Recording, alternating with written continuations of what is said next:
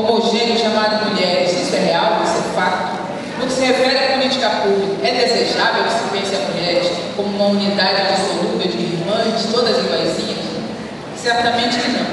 Então eu acho que é preciso lembrar que as, as, as mulheres são diferentes grupos de mulheres. As mulheres são diferentes singularidades de mulheres. É, só olhar, então como a gente pensa a mulher? É abrir mão da perspectiva essencialista. Desde Simone de Beauvoir, a gente sabe que não se nasce mulher, torna-se. Então, não adianta mais, no século XXI, a gente falar mulher como se fosse uma unidade divisível, uma massa amorfa de coisas que não existem. Pensar político para as mulheres é pensar em mim, você, cada uma de nós e aquelas que a gente nem conhece, aquelas que a gente nem vê, sabendo que somos diferentes, principalmente sabendo que somos. Então tem que abrir mão da, perspectiva essencialista e principalmente tem que recolocar nesse cálculo a perspectiva da ideologia, politizar a identidade, o que significa ser mulheres negras, trazer de volta o que significa ser mulheres brancas, o que significa ser mulheres índias, o que significa ser mulheres ciganas, o que significa ser mulheres surdas, o que significa ser mulheres cadeirantes, o que significa mulheres idosas, o que significa ser mulheres jovens, o que significa ser de mulher que acontece aqui. E não apenas imaginar que somos seres diversos, interessantes, sem posicionamento político. Se por um lado a desigualdade de gênero nos coloca no mesmo barco, por outro lado, a diferença de projeto e horizonte nos separa completamente. Todos. Nós estamos todos no mesmo barco. Se eu não essencializo a ideia de mulher, eu tenho que lembrar que eu tenho que fazer política, inclusive com esta outra mulher que está do meu lado. Eu tenho que debater, negociar, construir ideias, questionar movimentos, ideologias, questionar culturas. Trazer de volta para esse processo aqui a realidade de que há entre nós relações de poder. Fazer política é falar de poder, visibilizar o poder onde ele está e onde ele deveria estar. Então é sobre isso que a gente tem que se inspirar, é nisso que a gente tem que se lembrar quando a gente fala de mulheres. Tudo isso está no mesmo cálculo. Próximo, por favor. E se estamos no mesmo palco, essa diferença, essa diferença, ela é muito diversa também, ela é múltipla. Quem já leu Kimberly Crenshaw lembra que ela fala de interseccionalidade, uma figura muito divulgada pelas mulheres negras dos Estados Unidos, para lembrar que nós mulheres, nós seres humanos, somos, somos atravessadas por outras identidades, várias identidades, várias diferenças, várias coisas que somos. Eu sou mulher, eu sou negra, eu sou lésbica, eu tenho 53 anos, eu moro em Maricá, eu sou atravessada por tanta coisa. Eu estudei na UF, tem muita história. Sou médica. São muitas identidades. São muitas. Nasci no Morro dos Capritos, em Copacabana, é outra. Cristina, Rosária, que era do Centro de Mulheres Favelas de Periferia, Cristina, né? Eu, Rosário da Associação de Moderadores de Povo do Sabe que nascer em favela faz uma diferença. Eu sei que é jacarezinho, não podia deixar de falar. Fala de cabrito, fala de, de Andaraí, tem que falar de jacarezinho, tá certo também, mas tudo isso é identidade. Somos atravessadas por múltiplas, muitas identidades. Mas essas identidades não são neutras. Essas identidades não nos colocam na mesma posição. Essas identidades podem ser vistas também como eixos de poder para umas e eixos de subordinação para outras. Ser mulher, ter a identidade de mulher no mundo de homens, é ser atravessada por um eixo de subordinação e que o gênero nos coloca numa posição inferiorizada. Ser mulher negra no mundo de brancos é atravessada por um eixo de subordinação que coloca todos os negros lá, lá de fora. Ser mulher lésbica, ser trans, ser surda, ser cadeirante, ser idosa, ser jovem, todos isso, todas essas questões são forças que tentam produzir subordinações naquelas que não são nada disso. Mas isso precisa ser lido também pela outra face. Ser mulher, ser homem adulto, ser homem, uma relação de gênero significa ser atravessada por ser atravessada por de poder. Ser branco, uma sociedade racista, é também um lugar de poder. ser rígida, como a gente diz na medicina, não ter uma deficiência é, ou uma doença crônica, é ser atravessada por eixo do poder. Nascer e morar no asfalto, não na favela, é ser atravessada por eixo do poder. Como eu disse, ser adulta, não ser jovem nem, nem idosa, é ser atravessada por eixo do poder. Então é isso, há entre nós posições de poder e há entre nós posições de subordinação. Isso, por que eu falo isso? Porque tudo isso constrói desigualdades, constrói diferenças. Nós somos diferentes, nós somos desiguais. Mas os direitos são para todas. Os direitos são para todos. E daí, se alguém pensa que não, direito é o que é. O direito são para todas. Havendo desigualdade ou não havendo, direito é para todos. Próximo, por favor. E é, é, é considerar essa trajetória que a, que, a, que a desigualdade não é anulada pelos, né, pela conquista dos direitos, mas a, a, a, conquista dos direitos nos garante uma, uma ferramenta a mais para lutar contra essas desigualdades, é preciso rememorar, recolocar nossas diferentes experiências de luta quando a gente pensa em construir o próximo passo.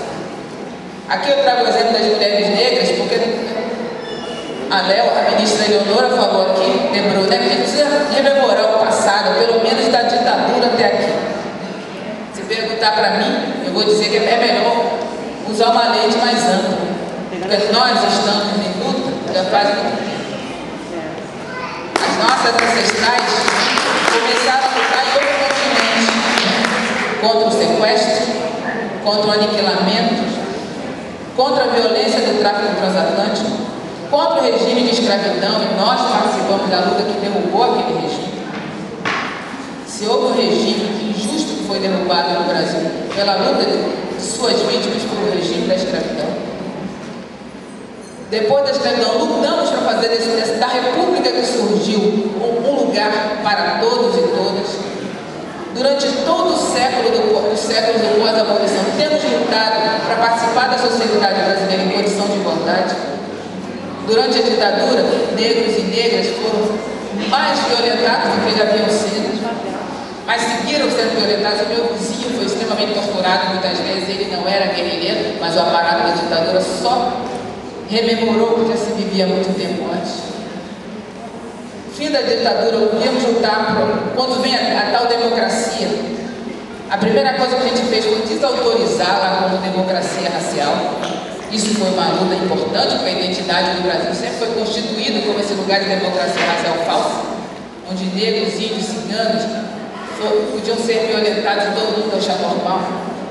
Então, na luta por democracia, nossa primeira contribuição para a democracia brasileira é denunciá-la como falsa. Porque onde há violação do direito não tem democracia.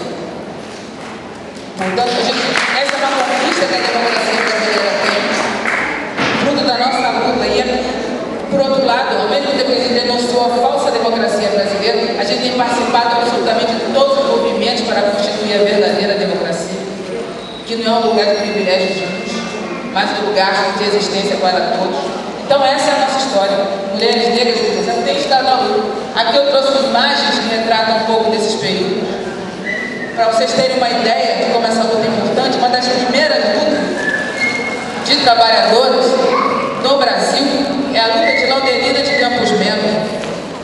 Primeira associação de mulheres trabalhadoras teve a participação de Laudelina na fundação da Associação de Trabalhadores Domésticos, Empregadas Domésticas. Laudelina de Campos Melo também teve importante militância no Partido Comunista. Laudelina de Campos Melo teve importância, importante militância na constituição, no financiamento e no espalhamento nacional da Frente Negra Brasileira. Então, nossa luta vem de longe. Nossa experiência de luta é muito grande. E não há luta por transformação do Brasil que não tem nos estados.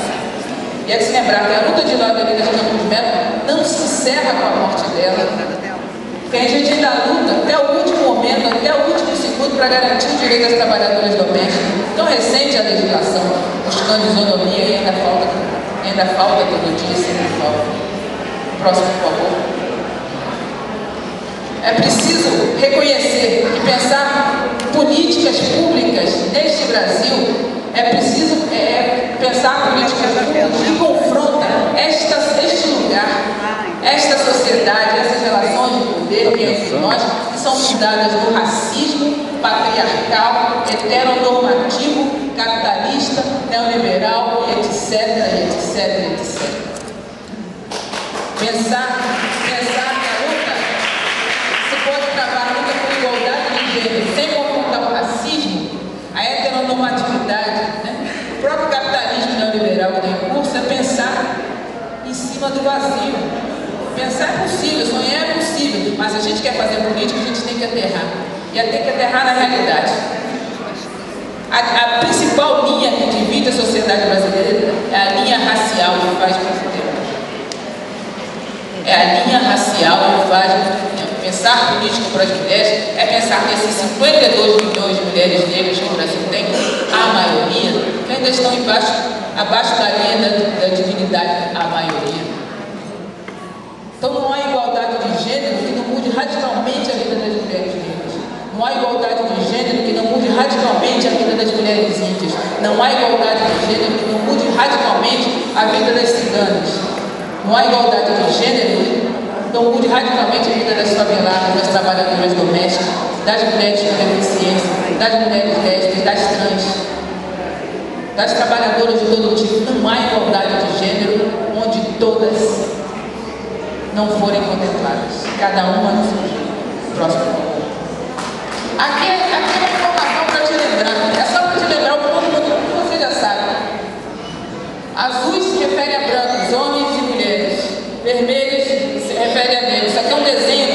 estatística nacional produzida no Retrato da Desigualdade, fruto do trabalho da SPM, do IPE e da CP. Só para lembrar as pessoas, lá na escolaridade e carga de desemprego. Vocês vão ver que as mulheres estão as portas mais altas de escolaridade no seu grupo racial. Vou ver que as mulheres negras, apesar da sua melhor posição de escolaridade no grupo negro, são as caminhantes do desemprego na sociedade. Se for procurar, procurar estatísticas de renda, é a mesma coisa. For procurar estatísticas de acesso a qualquer direito, qualquer política pública, vai encontrar a mesma coisa. Então, fazer política de gênero, pensar a proposta amanhã, depois da manhã, é pensar nisso. Como resolve isso? O próximo, favor. Aqui é uma outra estatística, isso aqui é a região metropolitana 1 da Secretaria Estadual de Saúde, significa que inclui Niterói, mas não apenas. As principais, as maiores cidades do Rio de Janeiro no estado do Rio de Janeiro. Isso aqui é mortalidade materna de 2000 a 2013, como vocês podem ver. Três linhas. A linha azul, aqui embaixo, lá embaixo, se refere à mortalidade materna entre mulheres brancas. É alta ao longo desses anos todos. A verde se refere à mortalidade materna entre as mulheres pardas, que são as negras da minha cor, segundo fui registrada na, fui registrada na certidão. São as negras da minha cor. E lá em cima, naquela linha vermelha, se refere às, às, às, à mortalidade materna das mulheres escritas como pretas. Se você somar as verdes com as vermelhas, você pode encontrar um escândalo maior ainda. Mas só olhando o que. E esse escândalo diz que a, mortalidade de mulheres negras no nosso estado de parto, puerpério, ou seja, de, né, coisas ligadas à gravidez no Brasil, todo mundo sabe que não é doença. Né? A mortalidade das negras, das pretas, só as pretas, olha aqui, negras como eu não estamos incluídas naquela estatística, só as mais escuras é quase duas vezes e meia maior do que das brancas. No mesmo sistema único de saúde. No mesmo sistema único de saúde. Eu sou médica, conheço o sistema por dentro, sei que o profissional e a profissional que salva a vida da mulher branca não salva a vida da preta porque não quer.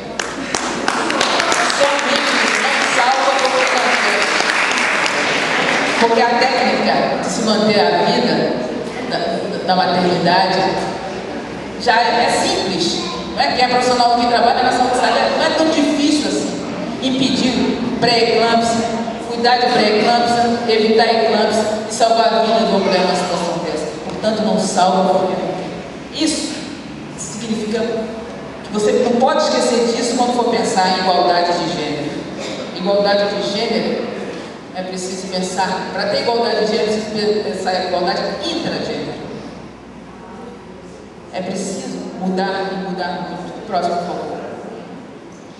Aline Pimentel, só, que, só para exemplificar que esses números, esses desenhos, têm nome. Aline Pimentel morreu aos 27 anos no Hospital de Nova Iguaçu, depois de um atendimento péssimo durante a sua gravidez, quando complicou o sexto mês, perdeu o bebê, veio a falecer alguns dias depois. O caso de Aline Pimentel, a família buscou reparação, explicação e reparação, por que uma jovem grávida morre?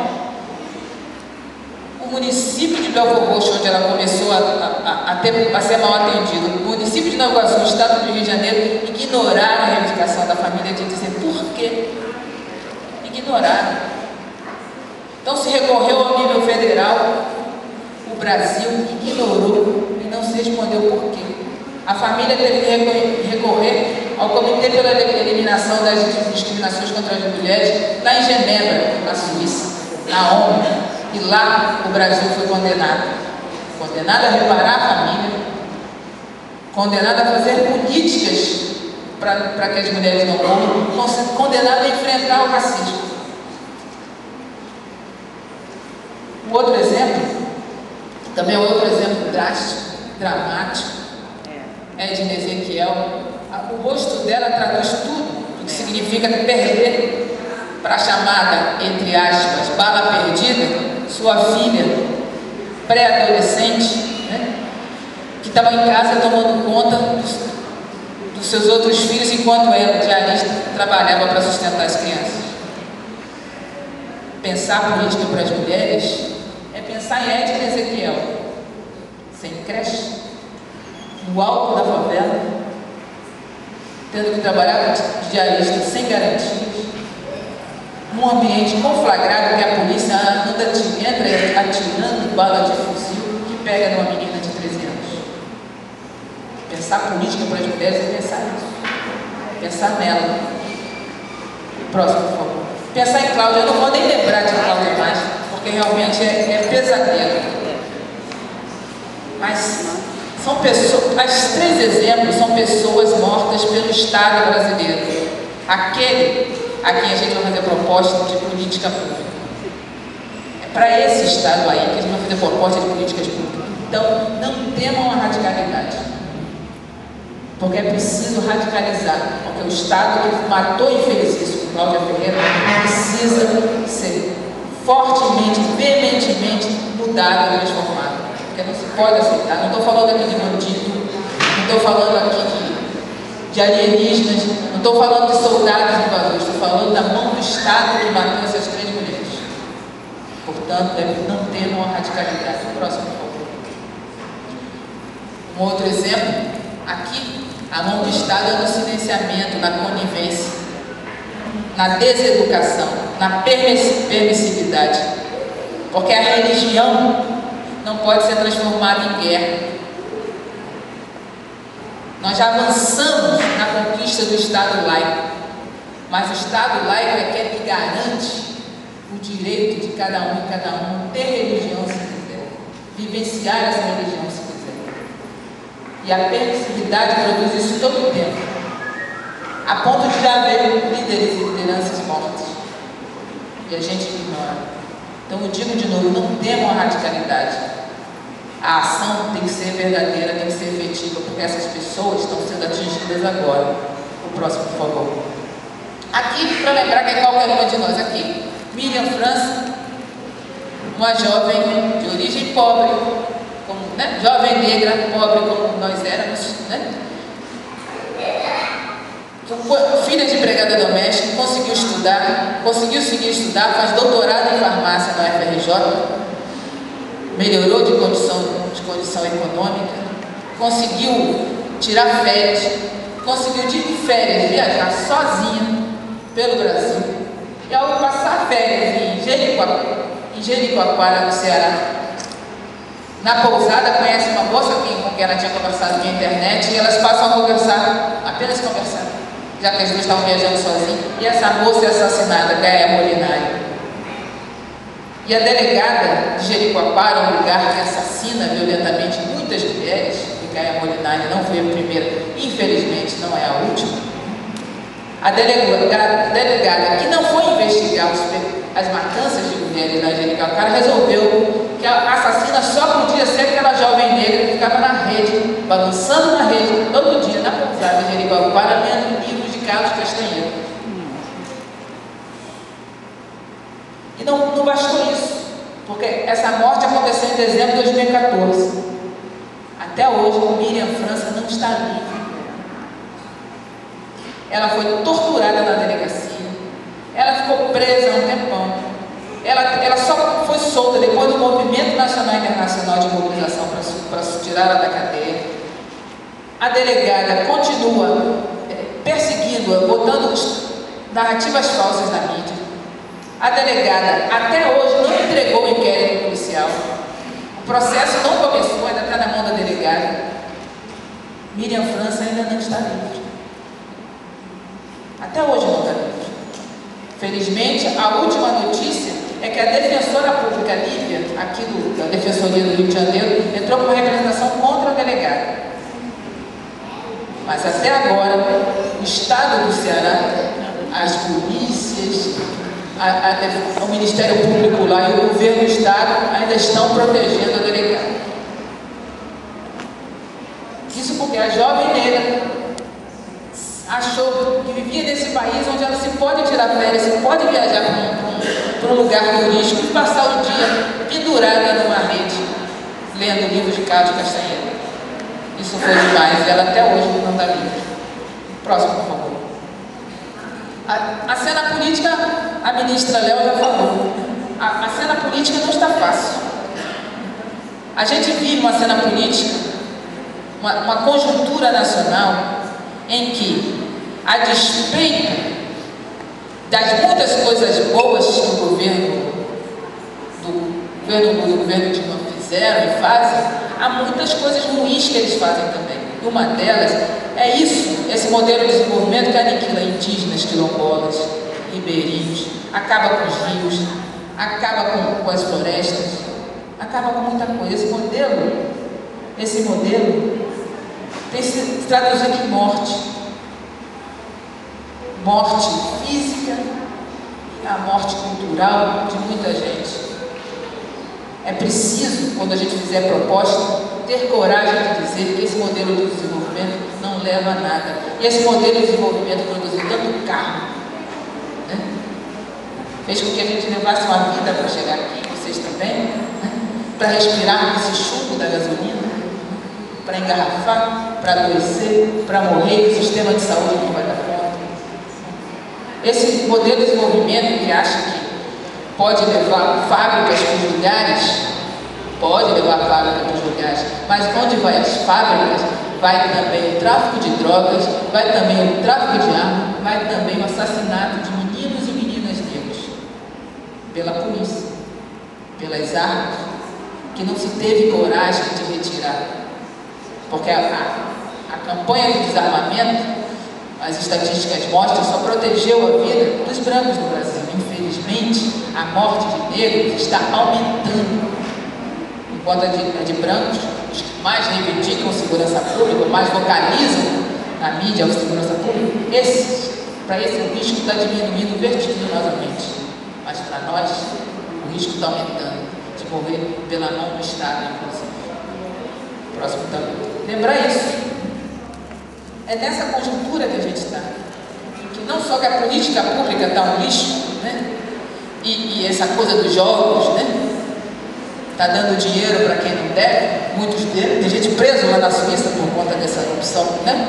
Não podendo viajar. E o presidente da, da, da CBF no Brasil não viaja de jeito nenhum mais. Né? E já entrou no, no Supremo para não quebrar o sigilo dele, porque é tudo bandido. As escolhas que se fez as escolhas que se fez produzem isso, tem produzido isso. Né? Governo, governo, a subsecretária da Mulher está tá aqui, mas o governo do PMDB que botou essa polícia aqui. É o governo do PMDB que está colocando aqui. É o governo do PMDB que tem Eduardo Cunha, discípulo do PC Faria. Não é? O que a gente está. Essa mesma coisa. É preciso, na hora de radicalizar, para ter coragem de dizer: daqui a gente não passa. Porque se passa, olha onde a gente vai parar. Isso aqui é só uma foto, gente. A gente sabe o que é isso aqui, né? Na experiência cotidiana, da realidade mudando violentamente para pior. A gente precisa fazer a escolha política sem medo de radicalizar. Tem que ter coragem. Tem que ter coragem de mudar. Próximo, por favor. Aqui a lembrança das redes sociais. Isso aqui é uma estatística das redes sociais que diz que está polarizado. Né? Os vermelhos estão de um lado, os azuis estão do outro. Né? As esquerdas e as direitas. Né? É essa a conjuntura. Então a gente precisa ter coragem de, de, de romper com isso aqui. Porque não dá para ver senhorinha de 70 anos em passeata de verde e amarelo, como disse outro, com farda da CBF, pedindo que queria que o doicode matasse todo mundo. Não se pode mais isso. Isso é um absurdo. É um absurdo, mas quem está pedindo a volta da ditadura foi quem lucrou com ela. Não, é? não, não foi só esse, é, esse rapaz, esse rapazinho. É. Deve ser neto do, do membro do CCC, né? Ele provavelmente é neto do membro do CCC. É? Exatamente. A senhora tem toda a razão. A senhora tem toda a razão. Mas é assim que a gente está.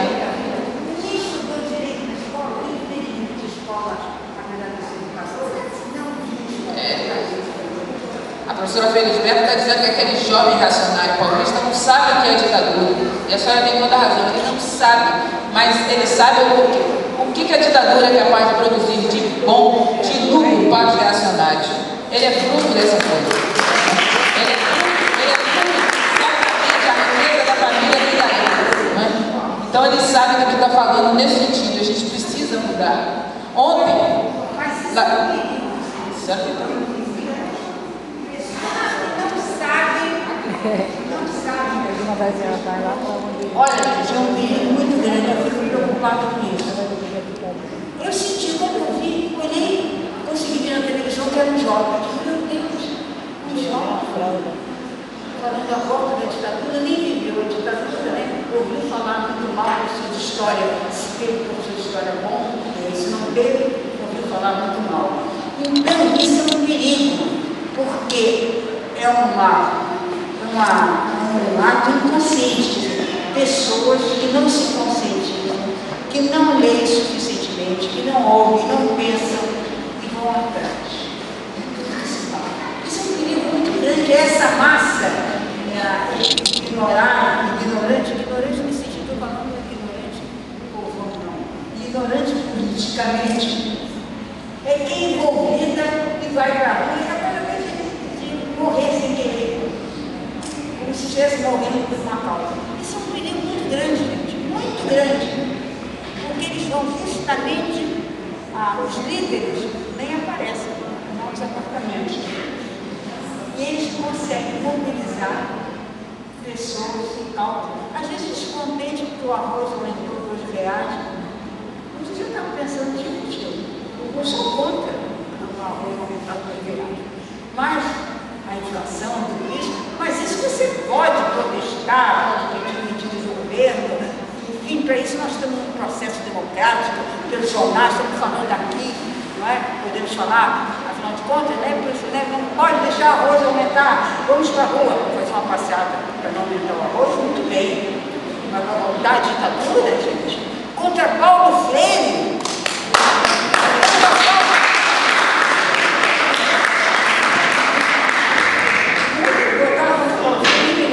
Abaixo Paulo Freire, aqui, Paulo Freire. Primeiro, botando Paulo Freire como se fosse comunista, mesmo que fosse comunista, comunistas lutaram pela liberdade do Brasil, lutaram contra o nazifascismo, lutaram contra uma série de coisas. Você entendeu? Não sabe história. Agora você vê, Paulo Freire, membro do Conselho Mundial das Igrejas Católicas, você está me entendendo? Agora era um homem que se interessou pela questão da educação do povo, foi um patriota, perseguido na ditadura, foi preso injustamente, preso sem, sem até algo real contra ele, entendeu? Só pelas ideias. Pelas ideias. Então isso é um perigo. A volta da ditadura é você não poder falar como nós estamos falando aqui, O que, que, é isso, gente? Eu quero liberdade no meu país. Vou falar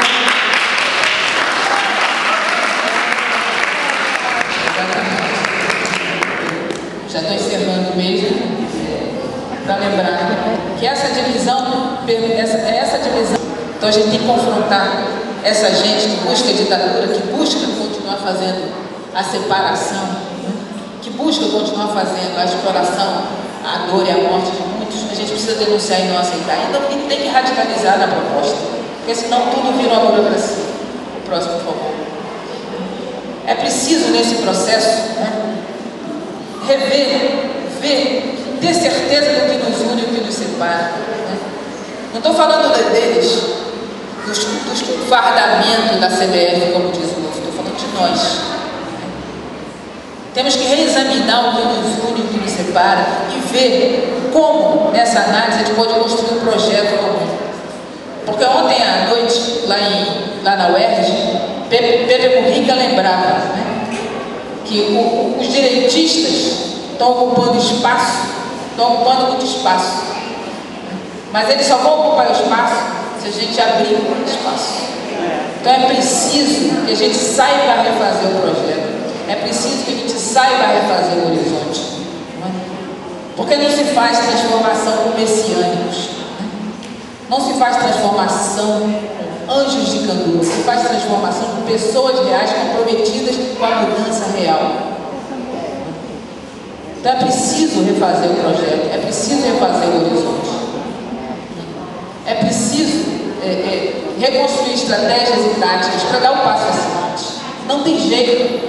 Eu acho que esse momento nos diz isso, não tem jeito. Se a gente abre, não existe espaço vazio, essa, esse, esse mantra que se repete, não, não existe espaço vazio em política. Então é hora da gente ocupar o espaço que por direito é nosso.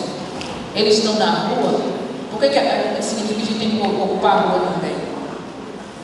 Tem que inclusive tomar de volta o verde e amarelo, né? Porque quem, quem quer construir esse país somos nós, eles querem Miami, não é mesmo? Então a gente tem que lutar por isso. O próximo, por favor.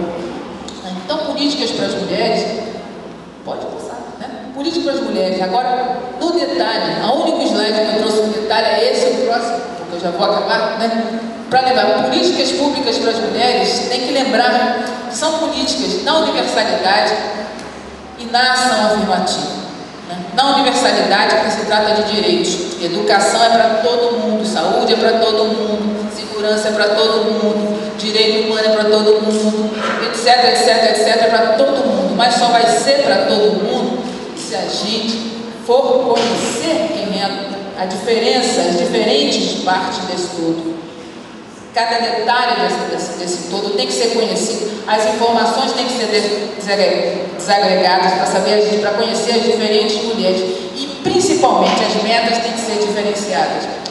Senão a gente tem que viver essa derrota que a luta das mulheres nos trouxe esse tempo nos últimos anos, né? a luta das mulheres, todo mundo comemora como trouxe muitas coisas boas, é verdade, mas trouxe uma derrota fundamental.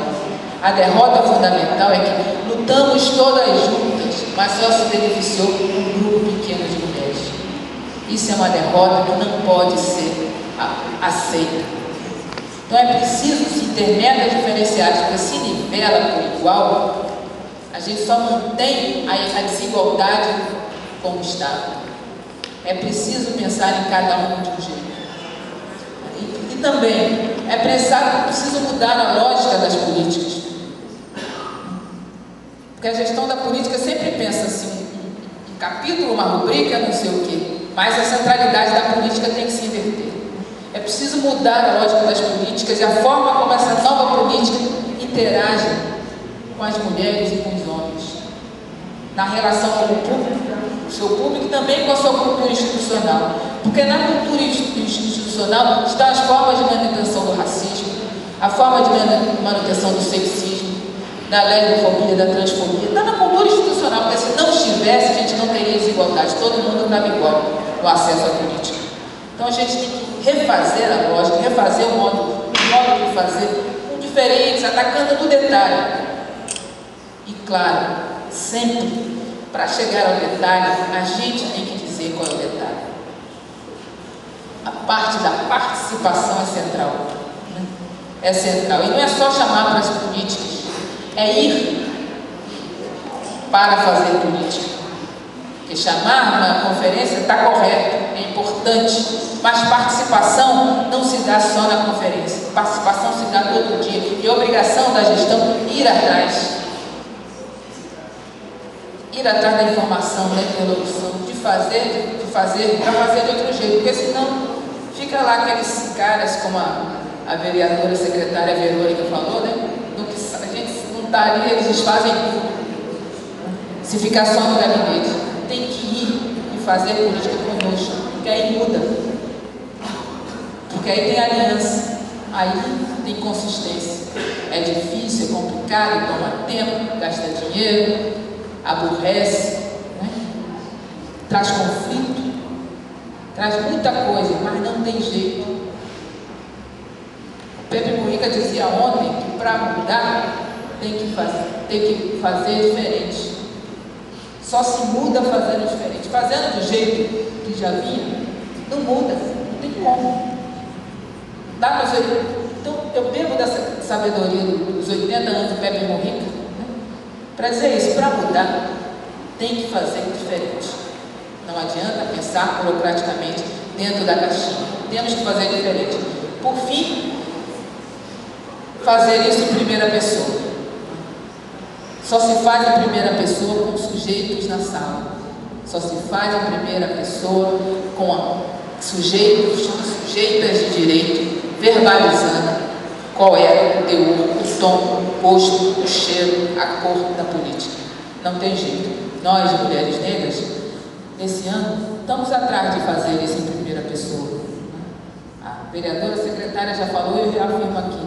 Venha marchar com a gente 18 de novembro, mulheres negras estão, vão marchar até Brasília. Já estamos em marcha nas cidades, essa cidade aqui saiu na frente, ainda fez uma conferência livre de políticas pelas mulheres. Estamos em marcha nas cidades, estamos em marcha nos estados, estamos em marcha até Brasília, estamos em marcha inclusive em outros países também. Mulheres negras vão seguir, mas quem não segue com a gente precisa ficar e fazer política também. Para quando a gente volte a mudança seja possível. É isso, eu acho que eu passei muito tempo.